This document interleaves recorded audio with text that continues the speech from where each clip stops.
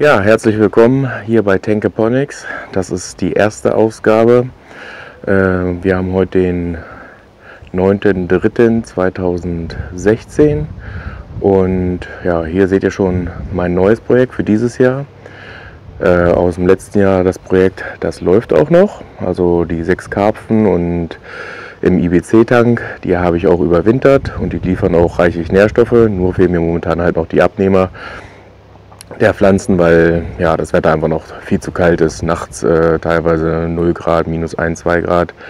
Und äh, ich lasse das eben mit dieser Durchlauferhitzerheizung laufen, die ich selbst gebaut habe. Video bei mir im Kanal. Und ja, also hier ist jetzt quasi mein neues Projekt für dieses Jahr.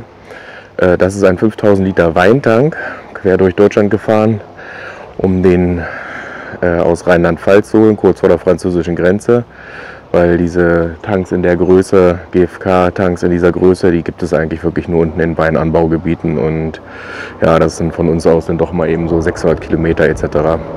Den habe ich auch recht günstig bekommen, 200 Euro habe ich dafür bezahlt, normalerweise liegen die so bei 10 Cent pro Liter kann man sagen, also wäre das eigentlich 500 Euro gewesen und ich habe den ein bisschen anders hingestellt, als er eigentlich steht. Normalerweise steht er hochkant und unten auf Füßen.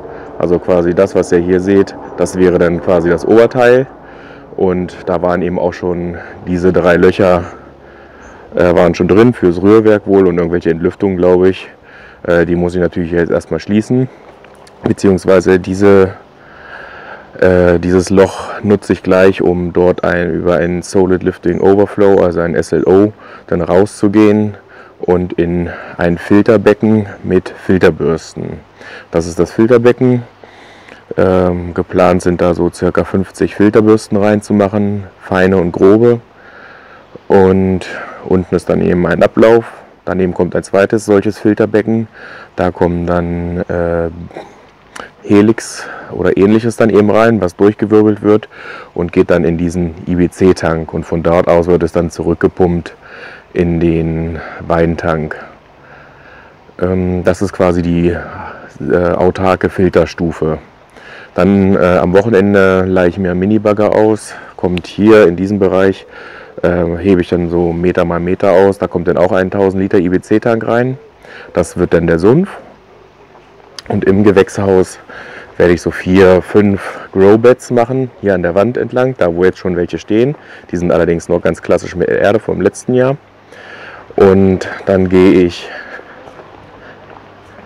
einmal hier an der Wand lang, äh, ja, auch vier, fünf oder sechs äh, Growbeds, jeweils 30 cm hoch, mit Kies gefüllt. Da erwarte ich auch die baldige Kieslieferung, also heute wird die auf jeden Fall noch kommen. Und hier an der Wand werde ich dann so ja, zwei Meter auf zwei Meter Länge, zwei Meter Höhe dann ein NFT-System installieren, was quasi, was natürlich schon im Gewächshaus einmal durchgeht. Sechseinhalb Meter lang ist das und dann eben hier weiterläuft, um dort Salate und Erdbeeren hauptsächlich eben anzubauen. Meine erste Überlegung war, dass ich eventuell ein Deepwater Culture System wieder implementiere, so zwei Becken, DWC-Becken äh, für Salate etc. Habe ich mich jetzt dann doch gegen entschieden. Der Installationsaufwand wäre jetzt nicht so hoch, ist zwar schon etwas höher, äh, in meinem Fall. Aber der Hauptgrund ist halt, äh, dann bräuchte ich natürlich auch wieder noch eine zusätzliche Luftpumpe, die 30, 40 Liter, die äh, 30, 40 Watt äh, die, die Stunde etwa verbraucht.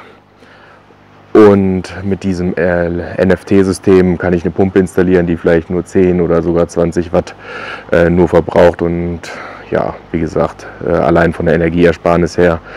Zweitens erhoffe ich mir auch, dass ich wesentlich mehr anbauen kann äh, in dem NFT-System, weil ich das natürlich, weiß ich, sechs, sieben übereinander machen kann und äh, da glaube ich dann auch, dass ich dann wesentlich besseren, bessere Ausnutzung der Fläche entsprechend habe.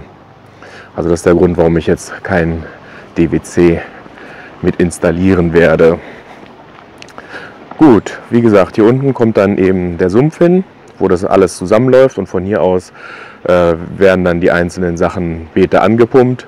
Ich werde zwei Beetsysteme machen, also jeweils vier oder fünf Beete mit einer Pumpe ansteuern.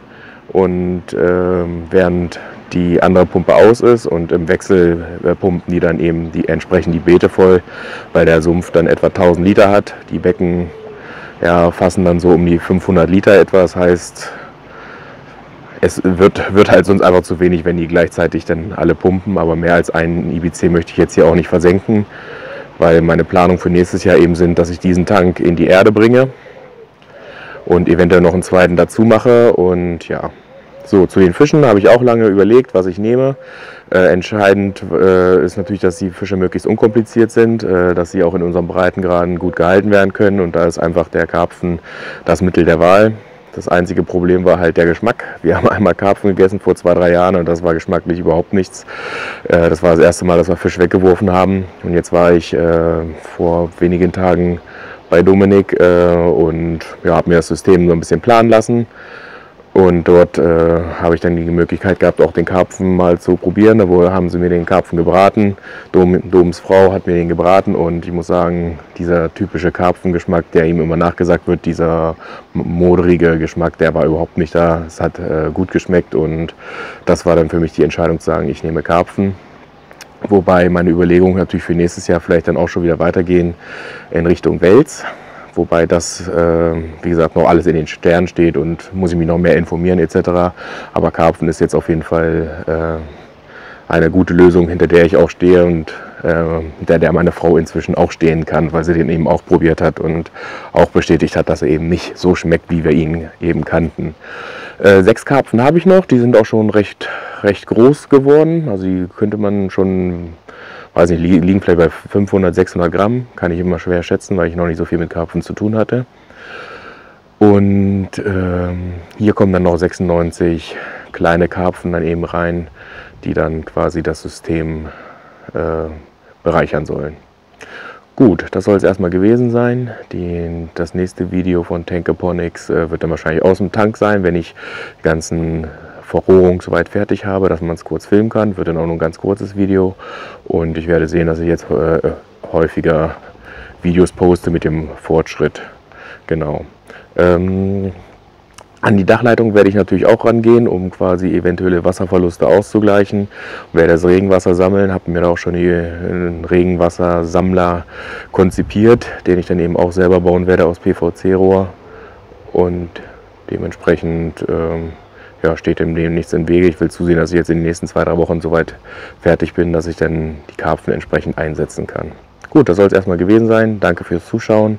Wenn es euch gefallen hat, gebt mir ein Like oder ein Abo und dann bleibt ihr halt immer auf dem Laufenden.